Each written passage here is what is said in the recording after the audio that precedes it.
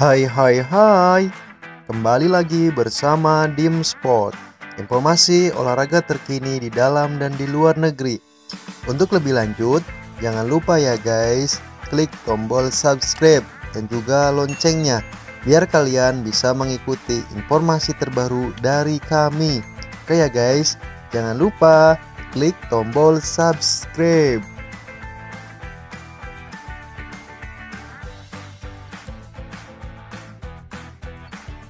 Laga final Liga 1 Putri 2019 mempertemukan Persib Putri melawan Tira Persikabo Putri. Kedua tim mengalahkan lawan-lawannya di partai semifinal. Sebelumnya Persib dan Tira Persikabo sudah saling bertemu karena Persib dan Tira Persikabo berada di grup yang sama di fase penyisihan yaitu di grup A. Dalam fase grup, Persib dan Tira Persikabo sudah bertemu empat kali.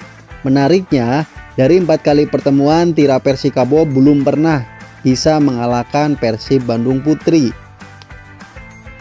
Dilihat dari hasil empat pertandingan terakhir head-to-head kedua tim, keduanya adalah pertemuan pertama Persib Bandung menang 1-0, pertemuan kedua hasil imbang 1-1, pertemuan ketiga imbang 0-0, dan pertandingan keempat imbang 0-0.